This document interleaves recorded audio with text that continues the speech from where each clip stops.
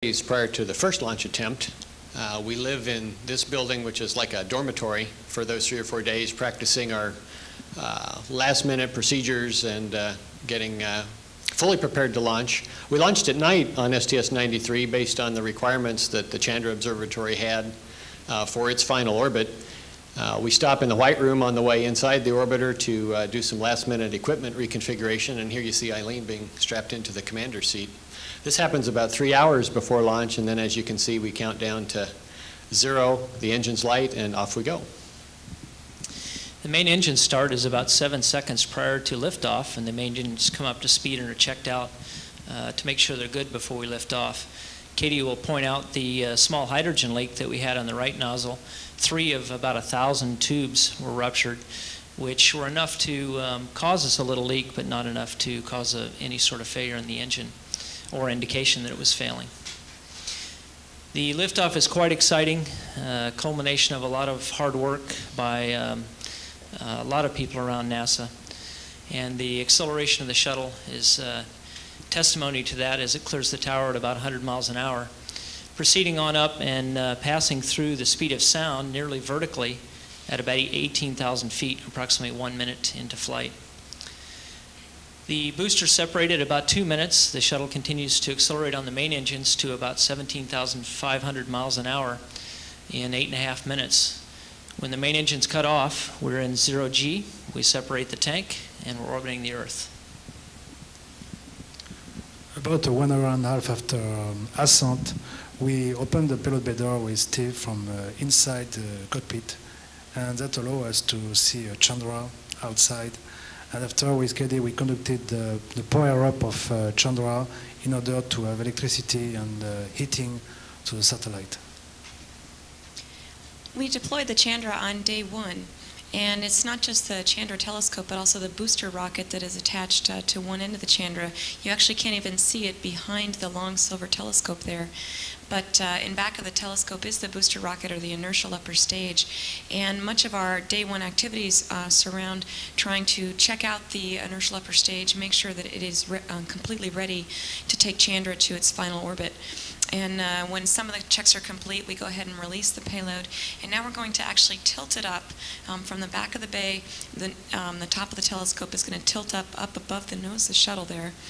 And uh, this is a kind of an interesting shot where you're actually going to see the orbiter cabin reflected in the top end of the telescope. And so uh, Jeff is actually using a camera to look out these windows, and uh, you can see, uh, you can't quite see Jeff filming, but you can see the two orbiter windows there.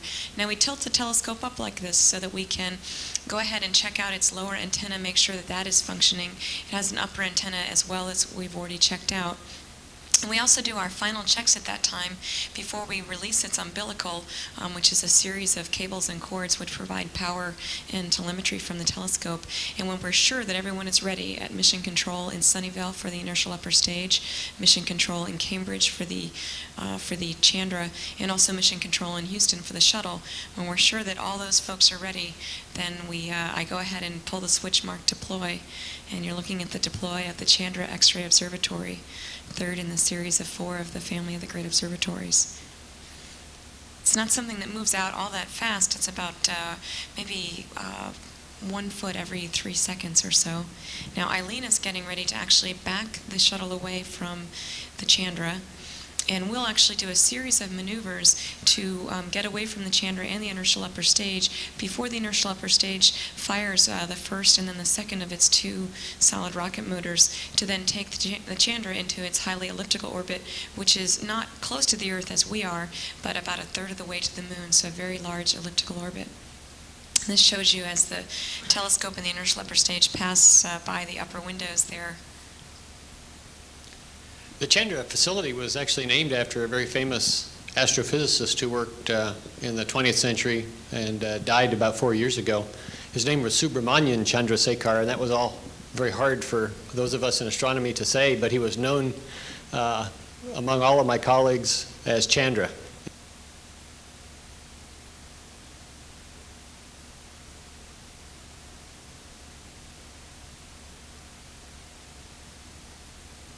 And uh, we deployed right before sunset, and this is the actual sun setting on the Chandra as we lost sight of it forever. Once the Chandra was deployed, we began to do some of the other experiments, and I showed you that telescope that we were practicing with in the simulator. This is a picture of Venus that we took with that telescope. This is actually one of the only pictures taken of Venus in the ultraviolet. This is a picture of Jupiter and its moons. Jupiter is so bright in this picture that its image is saturated a bit, but the, the little dots you see next to the bright image are the moons of Jupiter. And this is, of course, the Earth's moon. Um, again, uh, ultraviolet lights don't penetrate the Earth's atmosphere well, and so you have to go to space to uh, do this kind of observing, and that's one of the very few images ever taken of the moon in this wavelength. As Steve mentioned, we had 20 other experiments on board besides the Chandra. This is one of several biology experiments where we took uh, plants up to grow plants on orbit, and then I would take uh, sets of those plants every two days and, uh, and dissect them to bring them back to Earth to, uh, for the uh, experimenters to study. These were specially designed plants that had a, uh, a gene um, designed into them that can actually tell the investigators back home if the plant was feeling stressed while it was on orbit. Stresses would, would include uh, things like lack of ox- oxygen, uh, not knowing which way uh, to grow up, things like that. And uh, the- all these kinds of things, and these are some other biology experiments that you see attached to our mid-deck lockers, we're trying to understand how to grow uh, plants in space, not only so that we can have food sources on our interplanetary missions, but also so that we can understand how plants grow, uh, more about how they grow so we understand how to grow them here on Earth. And these are some of the other experiments, some of them uh, very uh, intricate single cell experiments. And these are some caterpillars which turned into butterflies, which were studied by school children, and also some technology experiments. These are solar array hinges uh, that we're trying out for new kinds of uh, uh, satellites and things that we'll, we'll try and have solar arrays on. The shuttle has two engines that we use on orbit to raise and lower our orbit. You're going to see a burn here. We go from zero G to a fraction of a G momentarily. Living in space is exercising. You can see uh, one of us running on the treadmill. Uh, we need to exercise every day. If not, you lose your muscle and your bones very quickly. And this treadmill will be on the space station. Eileen is, uh, you see uh, Eileen uh, working with a computer to communicate with the ground. You have email on board, internet, and she's smiling because she received a letter from her husband. And uh, you see the small kitchen on the right. So I was, as a French, I was a cook in the flight. So and they seem to enjoy. It's also exercising is cleaning. You know, we have a vacuum cleaner, very similar to the one you use every day in your house. And you see Jeff uh, with a cartridge. I mean, uh, it's a it's a system to reduce your CO2 or dioxide, dioxide of carbon in your shuttle.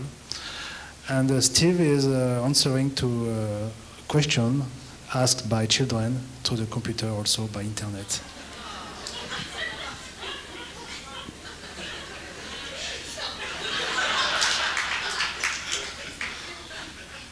Make some toys as well to, to study the um, conversion, I mean, the, the momentum of the rotation for small things like that.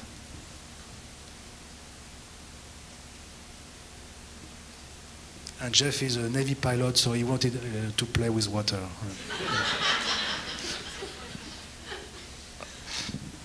Well, the Earth is very beautiful, and it's it's tremendous to look out the window upon it. But that also is a job of ours. We spend a lot of time observing the Earth. One study we did on our mission was a study of the uh, world's reefs. This is the Great Barrier Reef off of eastern Australia.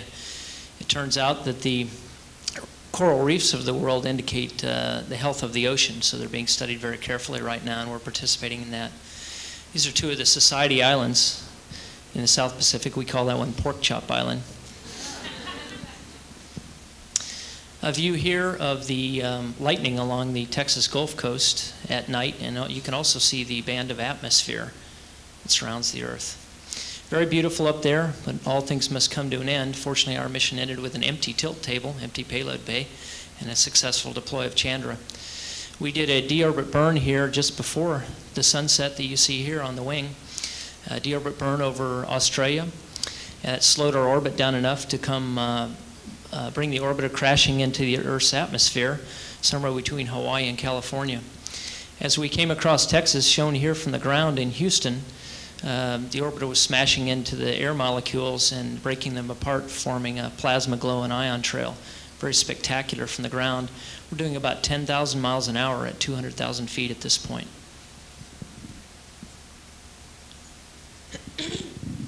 The long-range tracking cameras at Kennedy Space Center in Florida picked us up.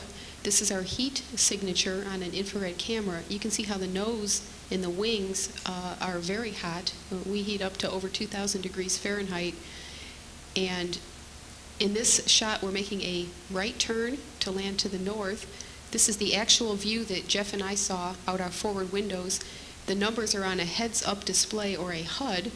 In the background, you see Cocoa Beach and Cocoa as we, uh, again, turn around to the north. You can read out our altitude on the right, our airspeed on the left, and we have a guidance uh, diamond in the middle that we follow to uh, keep us on course and glide slope. We're 300 knots at this point, descending down final on a uh, about seven times higher descent rate than a commercial airliner. In this view, we're passing 2,000 feet. We're doing a pre-flare maneuver to take us to a one degree glide slope. and again, this is the picture we saw with the floodlights. Um, we were only the 12th night landing ever, and uh, night landings are a little more difficult. Obviously, you don't have the same depth perception or sense of speed at night. But the lights brought us in. Um, Jeff uh, deployed the landing gear um, at touchdown. He deployed the drag chute. And it was actually quite um, easy landing the shuttle after having trained for many years in the uh, shuttle training aircraft that we maintain uh, to keep the pilots' uh, skills up to actually come in and land. And the, every shuttle mission has been landed manually uh, by the commander versus an auto land. We uh, stopped the orbiter, did about 30 to 40 minutes of reconfiguring to get uh, Columbia ready to turn back to the ground crew. And we got out, did a walk around, uh, met the, the folks at Kennedy Space Center. This is a really special time for us to thank the workers for getting uh, Columbia ready. You'll see a picture here of the right main engine. We had talked about our hydrogen leak, and you'll actually see it here. It was a very small, but you can see the, as soon as the folks saw that after we landed, they uh, had a pretty good idea of what had happened.